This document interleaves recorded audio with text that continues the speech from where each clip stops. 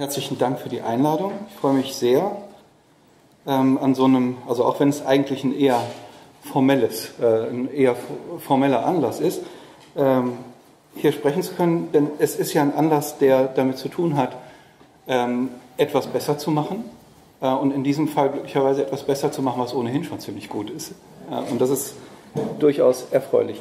Ähm, ich bin gebeten worden, äh, in diesem Impuls ähm, aufzuzeigen, wodurch sich das Konzept der Medienbildung äh, auszeichnet, dann auch in Bezug auf den Studiengang, äh, wo, wo, es in, wo und wie es in der Disziplin, innerhalb der Disziplin verortet ist und wie es sich gegebenenfalls vielleicht weiterentwickeln könnte oder sollte. Und entsprechend, die viele von Ihnen kennen Medien, die Medienbildung, die Magdeburger Medienbildung aus dem Kontext des Studiengangs vielleicht nicht alle. Und äh, was Sie möglicherweise aber auch nicht kennen, ist eine, eher so eine Vogelperspektive darauf. Also das möchte ich zuerst machen.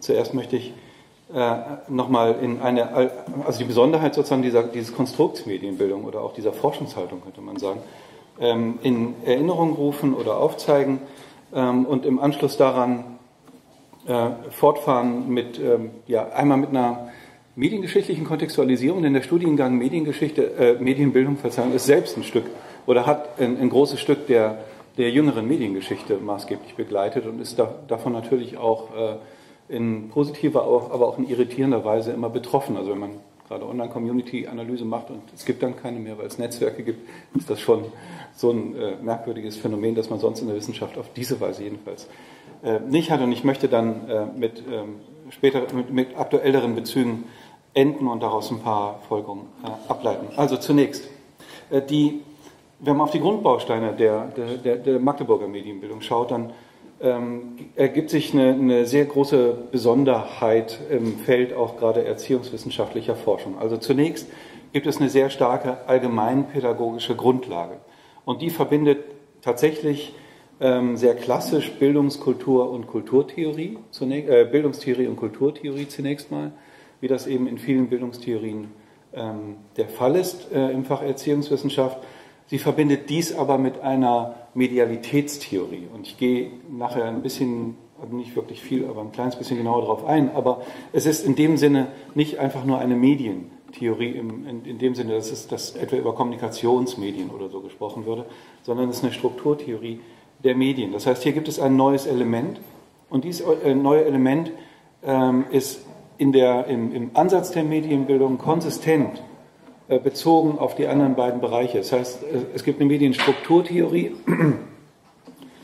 es gibt aber auch eine Strukturtheorie der Kultur und eine Strukturtheorie der Bildung. Und die sind zwar nicht ganz identisch, diese Strukturen jeweils, aber man hat Kopplungsmöglichkeiten, die eine hohe ähm, paradigmatische Konsistenz herstellen. Das zweite Element, äh, und das ist nicht minder wichtig, äh, sind sozialwissenschaftliche Elemente der Medienbildung. Das heißt, sie ist eingebettet in eine sozialwissenschaftliche Gegenwartsdiagnose. Das ist klassischerweise Modernisierungstheorie. Das ist etwas, was in dieser Weise beispielsweise klassische Bildungsphilosophie nicht unbedingt macht, also inzwischen schon auch eher, aber ähm, traditionell nicht unbedingt. Sie ist eingebettet in interaktionistische Subjektmodelle, also in Subjektmodelle des symbolischen Interaktionismus äh, und damit auch offen für Beforschbarkeit von, äh, von interaktionalen Sachverhalten und sie ist fokussiert oder orientiert an qualitativ empirischen Forschungszugängen. Und auch das ist eine Besonderheit. Wenn man schaut, wie, ähm, was sich unter dem Paradigma Medienbildung schon in dem bildungstheoretischen Sinne auch versammelt, dann sieht man, dass äh, unter diesen gesammelten Ansätzen, die Winfried Marotzki, ich glaube Norbert Meder, Johannes, warst du auch dabei bei dem Band Medienbildung, der vor allen Dingen dem Sammelband mit dem Titel Medienbildung, der herauskam, dann, dann, sieht man, dass eben nicht alle Ansätze ähm, in dieser systematischen Weise auch empirische Forschung anschließen. Und äh, das ist in diesem Fall wesentlich. Wenn man sich das mal anschaut, wie äh, pädagogische Medienforschung klassischerweise aussieht oder überhaupt Medienforschung, ich werde das aus Zeitgründen jetzt nicht erläutern, aber es geht nur darum, dass da ein leeres Feld ist in dieser Systematik. Ja, wenn man sich also schaut, äh, anschaut, äh, in welchen Logiken jetzt Rezeptionsforschung oder User Gratification äh, Approach und so weiter ähm, funktionieren, dann sieht man, dass die Medienbildung tatsächlich eine Lücke geschlossen hat, ähm, die ähm, erhebliche Innovationen in den fachlichen Diskurs um Medialität hineingetragen haben. diese, ähm, dieser besondere, mediumorientierte, äh, aber eben sozialwissenschaftlich und kulturwissenschaftlich, kulturtheoretisch unterlegte empirische Zugang äh, hat dann verschiedene Ausdifferenzierungen erfahren. Also diese, das, was ich als Medialitätstheorie eben angesprochen habe, ist eben nicht eine allgemeine Medialitätstheorie, das wäre auch, kann nicht die Aufgabe der Erziehungswissenschaft, sondern eben die der Medienwissenschaften, sondern sind bereichsspezifische, also gegenstandsbezogene Medientheorien, die sich eben am, äh, am Gegenstand des Films abarbeiten und dann filmtheoretische Bezüge aufgreifen oder am Gegenstand des Bilds, der Fotografie und dann eben auf äh, beispielsweise Panofsky ähm, oder eben bildphilosophische auch Fragestellungen Bezug nehmen und äh, so weiter. Es, ähm, im, Im Kontext des, der Entwicklung dieses Paradigmas wurden unterschiedliche bildungstheoretische, strukturanalytische Ansätze entwickelt, die dann tatsächlich auch anwendbar sind, eben, und das ist wichtig für das Studium, sonst ähm, haben die äh, Studierenden eine Menge von Theorien im Kopf und kriegen dann vielleicht noch einen Methodenkurs, wie das an anderen Unis schon mal auch der Fall sein kann in anderen Studiengängen, wissen aber nicht, wie sie das tatsächlich miteinander verbinden sollen. Ähm, das ist hier ein ziemlich großer Unterschied. Also beispielsweise, ich äh, äh, beziehe mich jetzt hier auf äh, das Filmanalysemodell, das Winfried Marotzki in Anlehnung an ähm, das Filmanalysemodell von, äh, beziehungsweise an, den, an die, ähm, an äh, die Filmtheorie, könnte man sagen, oder den Ansatz von Bordwell und Thompson ja früher entwickelt hatte. Sie sehen, dass das ein, ein unterschiedliche Strukturbereiche ausdifferenziert und ich habe das jetzt nicht ausgeklappt auf den Folien, das ist ziemlich umfangreich. Äh, die, die hier studiert haben, wissen das sehr genau, dass es sehr, sehr viele Strukturpunkte zu beachten gibt, wenn man in diesem Sinne einen Film analysiert. Oder das hier ist jetzt noch eine Originalfolie von Winfried Marotzki, die ich aus einer meiner, ähm, also die Sache mit dem Hut ähm, und dem Hut ziehen, ähm, also ein Ritual, das gestern viele in der Fotobox äh, aus vermutlich zu Ehren des der Lesart Winfried Marotzkis, äh, der Panofskischen Theorie, wo das Hutziehen ja, wie viele von Ihnen wissen, eine besondere Bedeutung hat. Ähm, ja, also ähm, da, da, sehen Sie jetzt, dass, dass eben eine, eine, bestimmte Strukturidee davon, was eigentlich Bildlichkeit ist, äh, da äh, hineingeht. Ähm, Beispiel aus meinem Arbeitszusammenhang, um auch zu sehen, wie sich das äh, innerhalb, aber vielleicht auch in Grenzbereichen der Medienbildung weiterführt. Das ähm, war dann inspiriert eben äh, von diesem strukturanalytischen Ansatz. Ähm, Versuch, äh, virtuelle Welten strukturanalytisch äh, in so einem Modell erfassbar zu machen. Johannes Fromme und Mitarbeiter, Mitarbeiterinnen haben das mit digitalen Spielen gemacht in jüngerer Zeit. Und das ist mal ein Beispiel, dass es nicht immer nur um Dinge, die innerhalb von Bildschirmen abbildbar sind, gehen muss an, der, an dieser Stelle. Ähm, arbeite ich mit einem Strukturanalysemodell in Bezug auf hybride, materiell-digitale Musikmachdinge. Also das heißt, dieser Ansatz trägt sehr weit äh, und lässt sich im Prinzip, kann man sagen, ähm, auf alles ähm, Mögliche beziehen, was sich strukturanalytisch konsistent beschreiben lässt. Man kann es auch auf höheren Ebenen ansiedeln, also skaliert, wenn man so möchte. Ähm, das ist jetzt auch nochmal aus, aus eigener Arbeit. Äh, das ist jetzt sowas wie ein noch heuristischer, aber vielleicht irgendwann mal theoretischer Ansatz zu einer erziehungswissenschaftlichen Theorie, Theorie der Digitalität. Und da sehen Sie jetzt wieder, eine Differenzierung, eine analytische Differenzierung in Strukturbereiche, die dann wieder, äh, genau wie das auch in der Medienbildung eben der Fall war, sich interdisziplinär an unterschiedlichen, also beispielsweise an, äh, an der Netzwerksoziologie ähm, oder an Design Studies, an unterschiedlichen interdisziplinären Bezugsfeldern ähm, orientiert. Okay, so viel zur Grundanlage und Sie merken in, in der Eile, in der ich das aber auch darstelle, Sie merken hoffentlich trotzdem, das ist eine sehr, sehr spezifische, eine sehr besondere und eine ziemlich leistungsfähige Grundanlage. Ähm, wie hat sie gewirkt? Zunächst mal kann man sagen, innerhalb des Faches ähm, hat sie äh, teilweise ähm, deutlich gewirkt, auch als Irritation durchaus. Das muss so sein, wenn man mit einem paradigmatisch neuen Ansatz in ein Fachgefüge hineingeht. Und in diesem Fall ist, ähm, ist da natürlich die Medienpädagogik äh, das primäre Bezugsfeld. Ähm, Achso, eins habe ich vergessen noch zu sagen, wenn ich äh, äh, diese Strukturbereiche gerade dargestellt habe. Sie haben äh, alle die, ähm, die, die Studiengangsinformationen theoretisch jedenfalls vor sich liegen, oder die meisten von Ihnen kennen die Module ohnehin. Wenn Sie ähm, da hineinschauen, dann sehen Sie natürlich diese, diese Strukturierungen abgebildet. Ich komme vielleicht nochmal drauf zu sprechen. Okay, also ähm, im Verhältnis zur Medienpädagogik, ähm, die ähm, überwiegend traditionell mit kompetenzorientierten äh, Konzepten arbeitete, hat äh, die dieser Medienbildungsansatz irritiert, dadurch, dass er eben bildungstheoretisch funktioniert und das heißt prozessual orientiert. Ähm, Bildungsprozesse in diesem Sinne werden als nicht abschließbar gedacht, in der biografischen Linie immer wieder aufgreifend, immer wieder mit Krisen und Krisenbewältigungserfahrung äh, zu tun haben. Äh, und das ist etwas, was in diesem Sinne eben auch nicht einfach messbar ist, sondern nur qualitativ rekonstruierbar und so weiter. Ähm, was aber auch beispielsweise, und das spielt vielleicht auch eine Rolle, äh, für den, für den Ansatz der Medienbildung, was beispielsweise im Kontext von Bildungspolitik sich nicht ganz so gut verkaufen lässt. Also äh, es lässt sich besser verkaufen, wenn man sagt, wir haben ein Programm, wir stellen Kompetenzen her und die können wir mit billigen Mitteln evaluieren, also mit einfachen quantitativen Verfahren evaluieren. Das äh, ist mit, mit dieser Art von Medienbildung eben nicht möglich. Und deswegen ist sie nicht ist gar nicht so, dass sie äh, nicht irgendwie kommunizierbar wäre, aber sie ist schwieriger zu verkaufen, sag ich mal, äh, im Rahmen von, äh, von äh, Projektanträgen ähm, als Ansätze, die versprechen, dass es ein klares, evidentes Ergebnis gibt, deren Zahlen man dann möglichst mit Metaforschung aggregieren kann und dann kann man da ein politisches Steuerungsinstrument draus machen. Okay, zweitens, ähm, Medialität wird weniger als Gegenstand Schon auch, aber äh, eben nicht nur als Gegenstand oder Tool betrachtet. Natürlich sind äh, mediale Dinge äh, immer auch Tools, sondern eher als ein Infrastrukturphänomen, also als etwas, was Kultur konstituiert. Mit der Idee, dass es keine Artikulation geben kann, also keine Äußerungsform, also auch keine Bildungsprozesse ohne das Phänomen der Medialität und wenn man es nicht analysiert, man die auch nicht richtig verstehen könne. Ähm, und das führt natürlich dazu, zu, dem, zu dieser Medienobjektanalyse, Medienstrukturanalyse, die eben vorher nicht üblich war. Und drittens eben, ähm, ja, das, da habe ich eben die Betonung medialer Strukturanalyse, ähm, die dann eben mindestens ergänzend äh, zu Nutzer- und Nutzungsparadigmen existieren.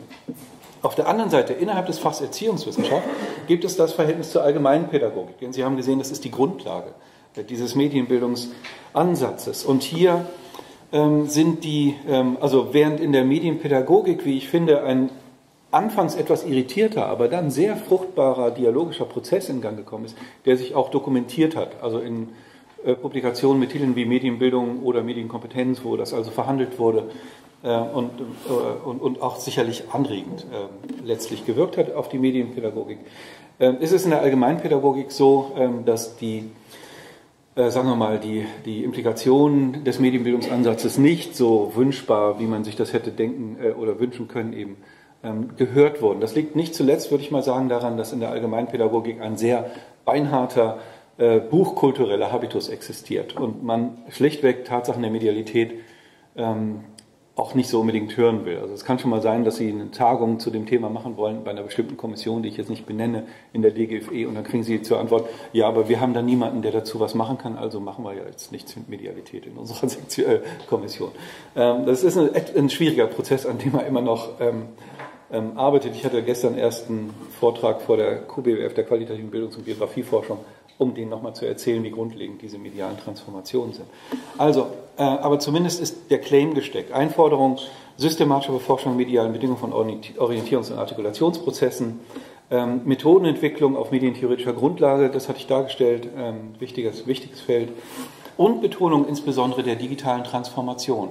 Und das ist was, was Sie auch nochmal in den Studiengangsmodulen sehr, sehr stark betont sehen, was ein sehr wichtiger Aspekt auch der Umsetzung in der Magdeburger Lehre. Und ich glaube auch ein wichtiger, wichtiger Aspekt ähm, im Hinblick auf den Erfolg dieses Studiengangs ähm, darstellt. Okay, ganz kurz, das äh, werde ich jetzt keinen Schreck kriegen, nicht erläutern, aber äh, um äh, kann man auch gar nicht lesen. Insofern ist das auch, glaube ich, okay, ich habe gleich nochmal einen Zoom in. Äh, wenn man sich die Geschichte der Digitalität, aber jetzt hier bezogen nur auf das Internet anschaut, dann sieht man das äh, Wesentliche, Aspekte, wie hier äh, die, die Einführung des World Wide Webs 1991, ähm, das Aufkommen des Terminus Blogosphere so ungefähr um 1998. Die Wikipedia, ähm, wo ist sie jetzt genau? Ich weiß gar nicht, irgendwo in den frühen 2000er Jahren. Ähm, und dann sehen Sie, dass die äh, Einführung, also äh, der Studiengangsmedienbildung unheimlich früh geschah. Aus heutiger Sicht sieht man das. Wahnsinnig früh. Weil eben diejenigen, die daran beteiligt waren, schon in den 90er Jahren die Bedeutung dieser Transformation erkannt haben, während andere dachten, ach, dieses Internet geht bestimmt irgendwann wieder weg. Das ist so ein Hype. Äh, das hat man hier anders gedacht. In der Wissenschaft hat man immer auch mit solchen Wetten zu tun in dem Fall wurde die Wette klar gewonnen, kann man sagen. Ähm, man sieht aber auch, dass das Paradigma der Medienbildung zu einer Zeit geschah, wo eigentlich fast alles Maßgebliche, was heute uns an digitaler Medialität beschäftigt, so noch gar nicht denkbar war und existierte. Das heißt, beispielsweise hängt das damit zusammen, dass man damals ähm, mit einem deliberativen, also sehr potenzialorientierten, sehr auch hoffnungsgetragenen Ansatz äh, auf neue Medien schauen konnte. Und das hat sich inzwischen doch etwas verändert. Ähm, mit solchen Stichworten wie jetzt äh, Environmentalisierung, also dass äh, die, äh, die zunehmende Beherrschung von Räumen, öffentlichen Räumen, Gebäuden und so weiter durch Software. Sie sehen an dem ewigen Dilemma des Berliner Flughafens beispielsweise, der kann unter anderem deswegen nicht gebaut werden, weil das eigentlich eine Architektur ist, eine materielle, bei der die Software im Zentrum steht. Und dann kommen die Steine. Und das ist ziemlich schwierig. Also viele Softwares, die sich auch nicht gut miteinander vertragen und so.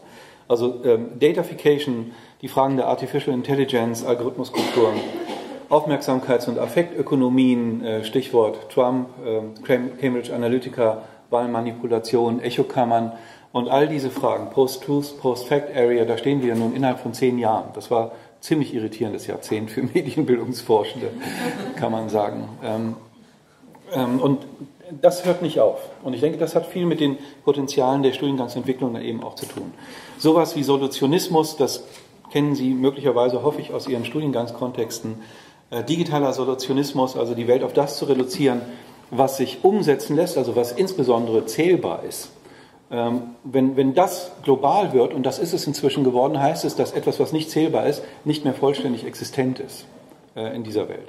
Also zum Beispiel auch nicht mehr hergestellt werden kann oder verkauft werden kann oder irgendwas. Es muss immer ähm, in, in einem Kontext der Lösbarkeit sein. Wir sehen, wo das pädagogisch hinführt, inzwischen in Pilotprojekten an chinesischen Schulen. Totalüberwachung ähm, natürlich nicht gegen die Schüler, sondern im Sinne ihrer Optimierung.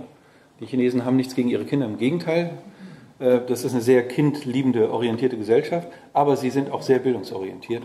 Äh, und man optimiert das jetzt tatsächlich, indem man eben die Aufmerksamkeit misst ähm, und aber eben schaut, welcher Schokoriegel eine Stunde vorher gegessen wurde, anhand der Chipkarten oder der Face-Erkennung in den Mensen. Äh, und wenn dann halt die, ähm, die Konzentrationskurve abknickt, immer in einem bestimmten Fach kann man möglicherweise die Ursache mit Big Data und äh, KI ähm, erkennen.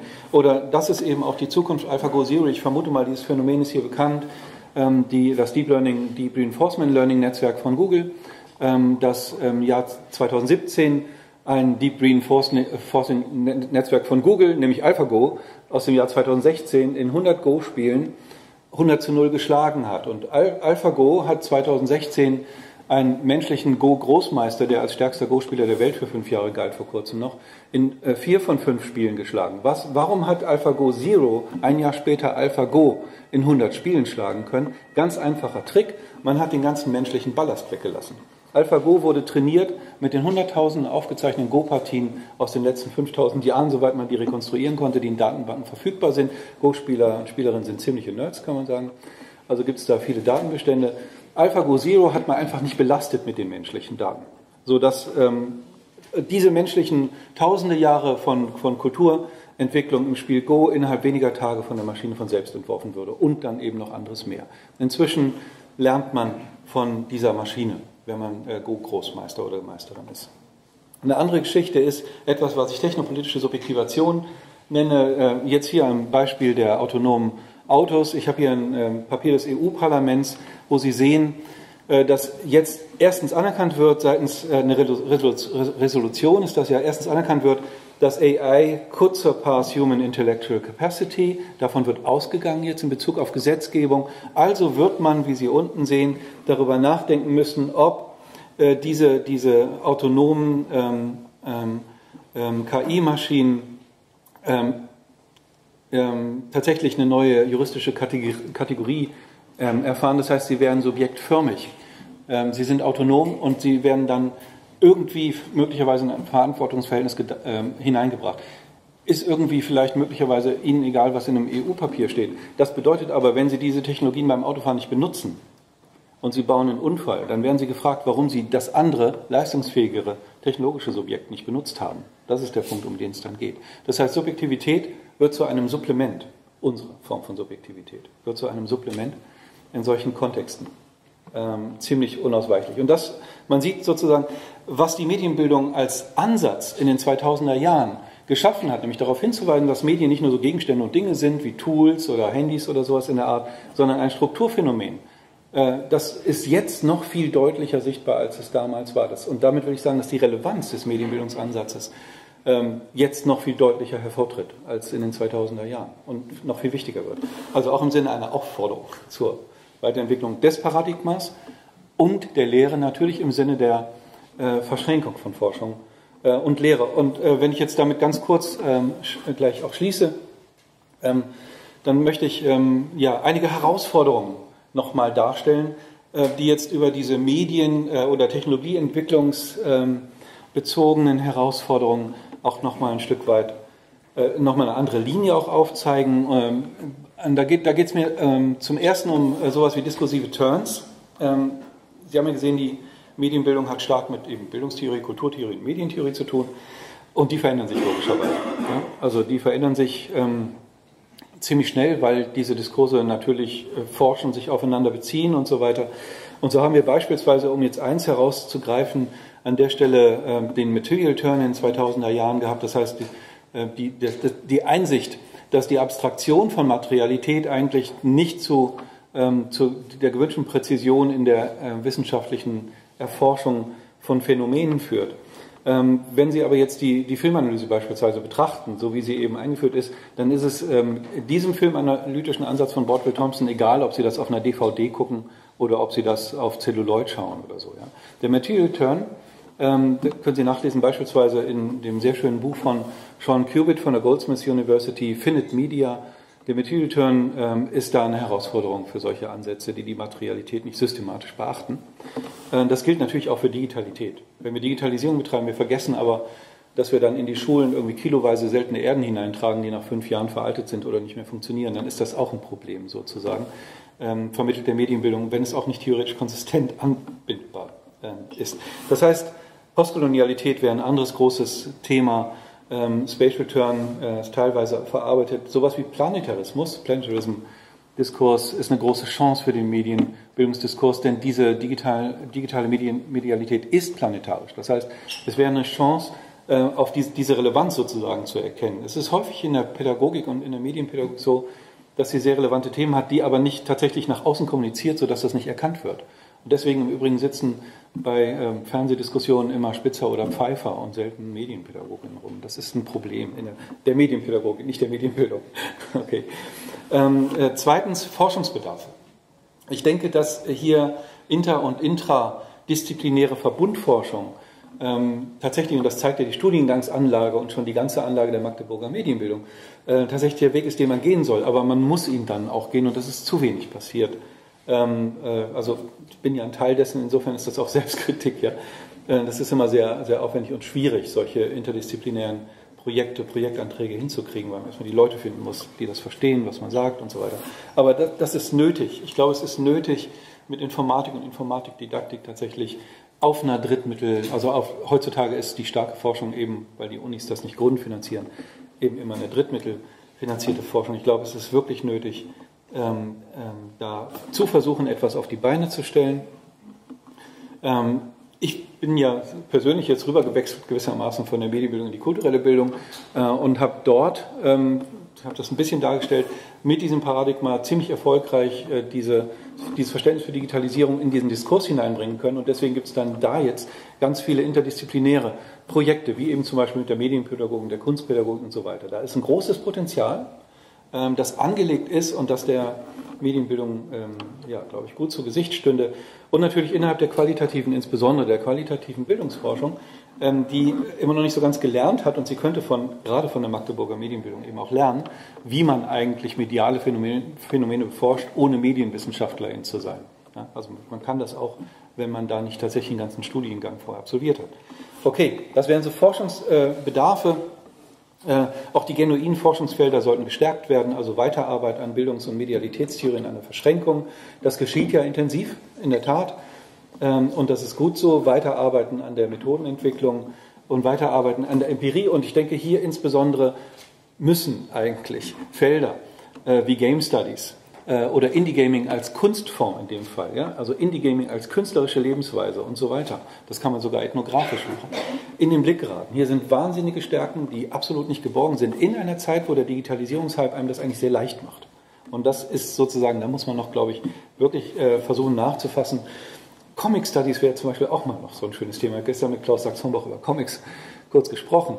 Ähm, total spannendes Feld. Ähm, Herausforderungen, weil es, glaube ich, wie Filmanalyse funktioniert, nur ohne Technik. Und das ist ganz interessant nochmal so als Forschungsfeld. Gut, ähm, Herausforderungen für die Zukunft. Ähm, ähm, da sehe ich auf der einen Seite aus leidvoller eigener Erfahrung den Digitalisierungshype in der Bildungsforschung. Wir können natürlich sagen, ist doch gut für die Medienbildung. Nein, ist es aber nicht unbedingt, weil damit eben Player äh, auf den Markt kommen, auf den Diskursmarkt sozusagen, die eher mit, äh, häufig eher mit Versprechungen als mit Substanz arbeiten, aber dieselben Begriffe benutzen. Wenn Sie mal schauen, wie Medienbildung be benutzt wird als Begriff, äh, da kann einem eher schaurig werden. Wenn dann die Politik und die Stakeholder nicht wissen, dass es hier gehaltvolle Ansätze gibt, wo schon sehr viel forschungsseitig aufgezeigt wurde, dann glauben die das einfach. Und das heißt, das Problem ist, dass der Hype Menschen ins oder, oder ähm, Diskursakteure in das Feld bringt, die einfach das Label benutzen und es dadurch furchtbar verwässern. Und dann ist es irgendwie alles so nix. Dann ist Medienbildung irgendwie E-Learning und Medienbildung ist irgendwie Medienerziehung und Medienbildung ist irgendwie ja, äh, irgendwie äh, irgendwas, was man im Internet macht, wenn man irgendwie twittert in einem Klassenraum oder so, ist dann irgendwie alles Medienbildung. Das ist schlecht, glaube ich, ähm, jedenfalls für unseren Standpunkt. Zweitens, Herausforderung tatsächlich Anerkennung im Fach als Querschnittsmoment. Es gibt die Medienpädagogik, das hat aber im Fach Erziehungswissenschaft dazu geführt, ähm, dass man dass das ganze Fach sozusagen sagt, es gibt ja die, die sollen das erledigen. Das sind die Nerds, die sollen das machen. Das muss man ändern. Äh, und ähm, eine größere Anerkennung außerhalb, ich habe gerade Spitzer und Pfeife erwähnt, eben ähm, in, in medienwissenschaftlichen, kulturwissenschaftlichen Diskursen, aber auch in der Öffentlichkeit. Ich glaube, das ist auch etwas für den Ansatz, woran man arbeiten kann. In dem Fall natürlich nicht. Warum eigentlich nicht auch für den Studiengang? Denn der macht ja die ganze Zeit Öffentlichkeit. Okay, damit danke ich für Ihre Aufmerksamkeit. Thank you.